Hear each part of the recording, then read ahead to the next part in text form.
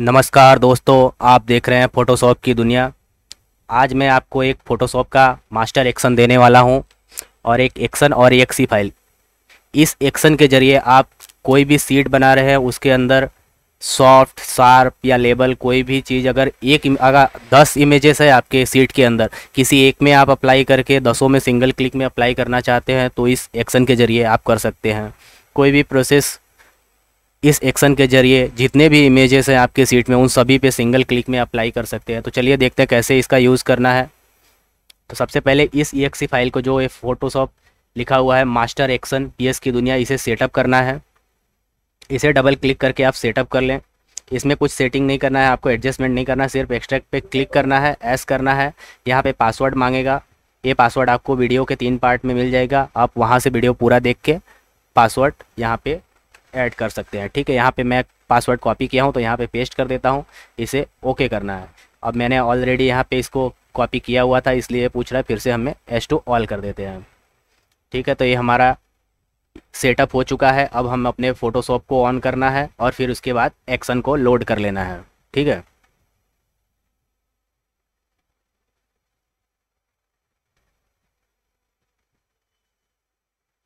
तो चलिए हम अपने फ़ोटोशॉप को ऑन कर लेते हैं, फिर उसके बाद देखते हैं।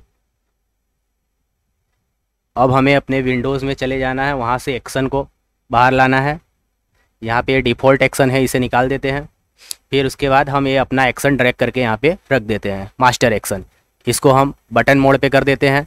इस एक्शन के ज़रिए हम अपने किसी भी एक्शन को, दूसरा आपके पास जो भी एक्शन है, उस एक्शन को मल्टीपल लेयर पे यूज़ कर सकते हैं। तो चलिए देखते हैं, एक सीट ओपन कर लेते हैं पहले।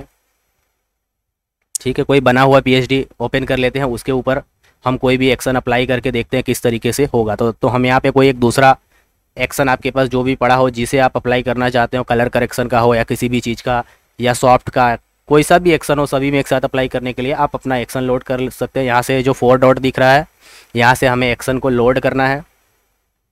आपका जो भी एक्शन पड़ा है, वो आप उसे लोड कर लें। ठीक है? एक्शन हमारा लोड हो चुका है। अब इस एक्शन को मैं यहाँ पे सेट कर दे रहा हूँ। ठीक है? लेयर के बगल में रख देता हूँ।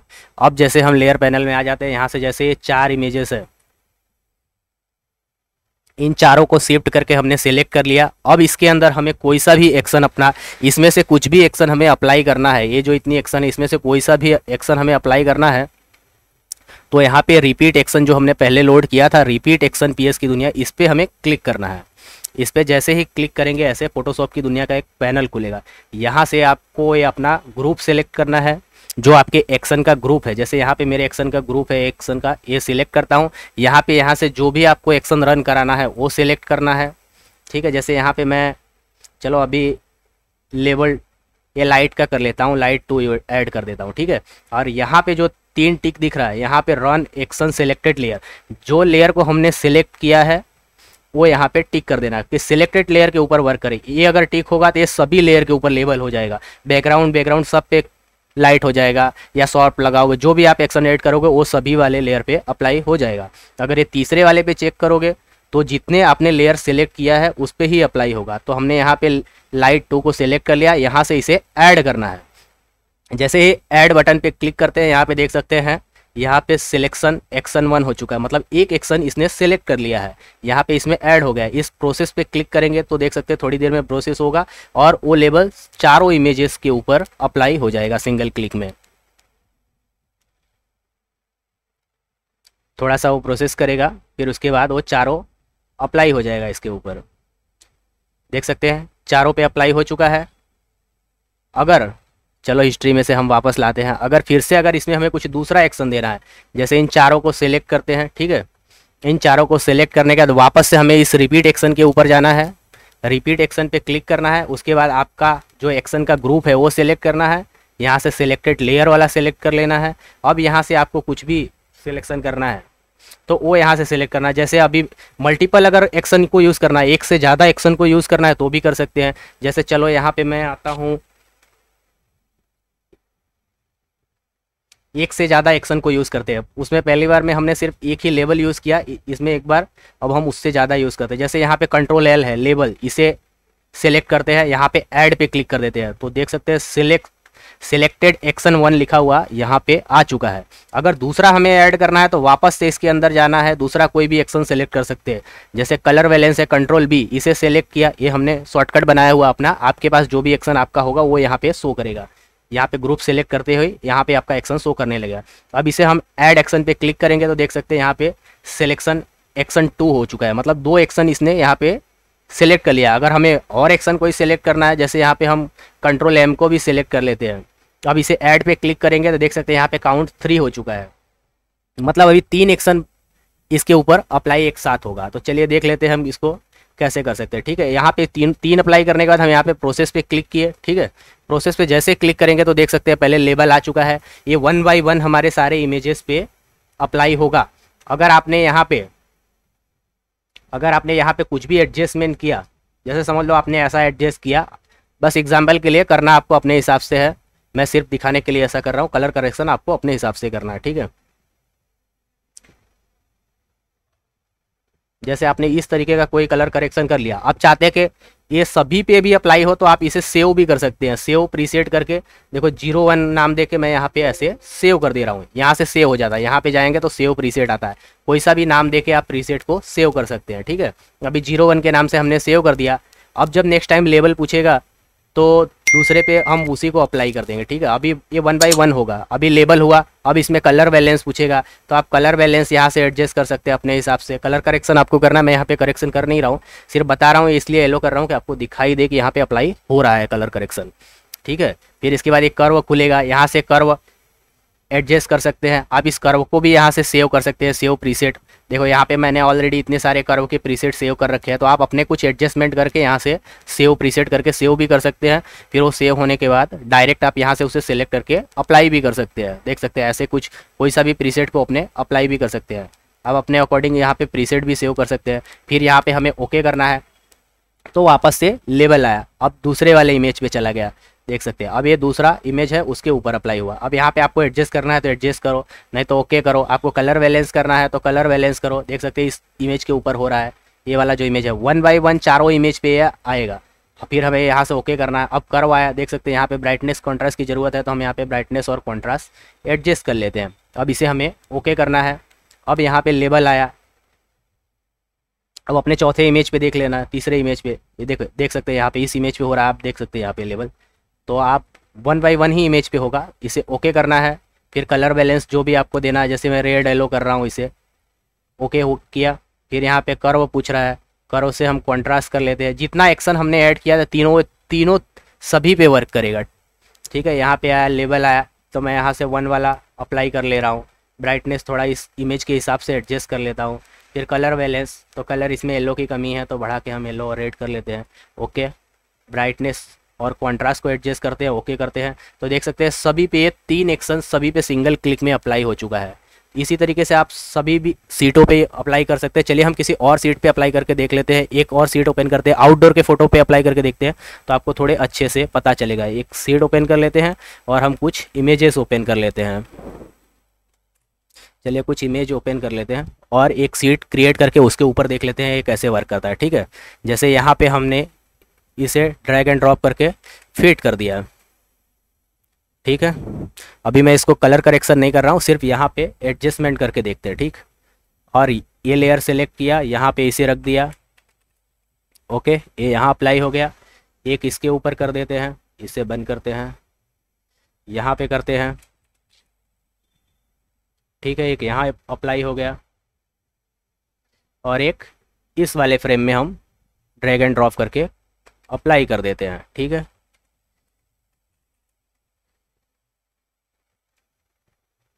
ये हमारी सीट रेडी हो गई। अब हम इसमें किसी में भी उस एक्शन को अप्लाई करके देखते हैं, ठीक है? उस एक्शन के ज़रिए। चलिए, एक्शन के ज़रिए हम एक एक्शन बना लेते हैं और उसे अप्लाई करके देख लेते हैं। चलो। अभी जैसे हम यहाँ पे एक बटन मोड निकाल के एक एक्शन क्रिएट कर लेते हैं, कलर ग्रेडिंग का। आप उस तरीके से सेम करना चाहें तो कर सकते हैं। जैसे यहाँ पे मैं एक ग्रुप बना ले रहा हूँ, दूसरा। अभी ये वाला एक्शन मेरा निकाल देता हूँ। बहुत सारे एक्शन नहीं दिखे यहाँ पे। यहाँ पे एक एक्शन क्रिएट करते हैं, ठीक है? रुको, इस इमेज के ऊपर करता हूँ। सैंपल के लिए इस इमेज पे करता हूँ। यहाँ पे एक एक्शन क्रिएट कर लेता हूँ। एक्शन वन इसका नाम देते हैं सी सी ठीक है, इसका सी सी नाम दे दिया। फिर इसके बाद हम सॉरी एक्शन को स्टॉप करते हैं। उसमें इमेज सेलेक्ट कर लिया, इसलिए वो आ गया यहाँ पे वापस से। एक्शन को रिकॉर्ड करते हैं, जैसे हम फ़िल्टर में जाते हैं, यहाँ पे कैमरा रॉ के अंदर आ जाते हैं। कैमरा रॉ में कुछ एडजस्टमेंट करते हैं। ठीक है? जैसे यहाँ पे हम बेसिक एडजस्टमेंट कर लेते हैं, थोड़ी सी जैसे येल्लो कट कर देते हैं। यहाँ पे हाईलाइट को थोड़ा कम करते हैं शेडो को इंक्रीज़ करते हैं। थोड़ा सा यहाँ ब्लैक बढ़ा देते हैं और यहाँ पे कॉन्ट्रास्ट कर देते हैं, थोड़ा एक्सपोजर एडिस कर लेते हैं। ये सिर्फ़ एग्ज़ाम्पल के लिए बता रहा हूँ, करना आपको अपने हिसाब से है, ठीक है? और मैं थोड़ा सा यहाँ पे कलर का सेचुरेशन फास्ट कर दे रहा हूँ। और इसका कलर चेंज कर देता हूँ थोड़ा सा। इस तरीके से हम समझ ले एक एग्ज़ाम्पल के लिए ऐसा टोन तैयार कर लिए। ठीक है? ये हमारा बेसिक सा एक करेक्शन हो चुका है यहाँ पे। बिगनेट थोड़ा सा कर देते हैं। ये हमारा अप्लाई हो चुका है। ठीक है? इस एक्शन को हम यहाँ से सेव भी कर लेते हैं। क्रिएट प्रीसेट करके यहाँ पे सीसी कुछ करके ऐड कर देते हैं। चलो। ये हो गया सीसी 2021 के नाम से इस प्रीसेट को हमने यहाँ पे सेव कर लिया इस प्रीसेट में वो आ चुका है यहाँ पे। ठीक है सीसी 2021 देख सकते हैं यहाँ पे सेव हो गया अब हम इसे ओके करते हैं। ठीक है ये एक्शन हमारी बन चुकी है। अब इसे हम स्टॉप कर लेते हैं। एक्शन रेडी हो गया हमारा अब इसे हम बंद कर देते हैं। अब इन चारों को हम सिलेक्ट करते हैं। इन चारों को सिलेक्ट करने के बाद फिर हमें इस, इसमें एक्शन को अप्लाई करना है। फिर यहाँ से हमें बटन मोड में आ जाना है। बटन मोड पे आने के बाद यहाँ रिपीट एक्शन लिखा हुआ, उसके ऊपर हमें क्लिक करना है। जैसे इस पर क्लिक करेंगे, फिर वो यहाँ पे अपना ग्रुप पूछेगा, जो हमने सेट वन बनाया था, उस सेट वन को सिलेक्ट करते हैं। यहाँ पे सीसी लिखा हुआ जो एक्शन है, उसे सिलेक्ट कर लेना है। और यहाँ पे सिलेक्टेड लेयर वाला, ये चेक करना है और इसे ऐड कर देना है एक्शन वन को। यहाँ पे ऐड कर दिए, अब प्रोसेस पे क्लिक कर देना है। जैसे ही क्लिक करेंगे तो देख सकते हैं हमारी वो एक्शन सॉरी लगता है हमने सारे लेयर को सिलेक्ट नहीं किया। एक, दो, तीन। इन सभी को सिलेक्ट करने के बाद रिपीट पे क्लिक करना है। यहाँ पे हमारा set one add action